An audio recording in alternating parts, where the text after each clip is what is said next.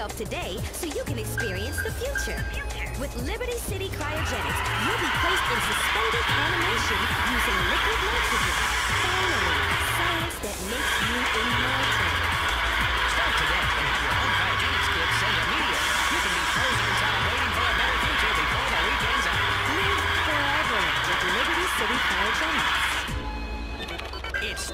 Star for a whole new generation. The internet generation finally has its own comedy at the Maginot Theater. WTF, a story of online love. It's set in cyberspace. Featuring two dorks, an underage girl, and a lonely pervert from Minneapolis that come together in a tale that will overclock your heart. Online love for a sexless, lonely, sleep-deprived generation. now at the Maginot Theater. WKTT 1066, because now that the Cold War is over, it's time to fight with ourselves. Conservatives finally have a real voice on the radio. It's the Richard Bastion Show. This country's going to hell. Ever since we let those damn Australians back in this country, everything has gone to shit. What the hell did we go to war with them for in the first place? Now I'll tell you why. We did it for freedom and for valuable munitions contracts. They're sick, degenerate folks known as furs They dress up in their cute little bunny suits with holes cut in them for their penises to stick out, and they pound each other's heinies, making weird animal noises. But do you hear what public television has brought to you, America?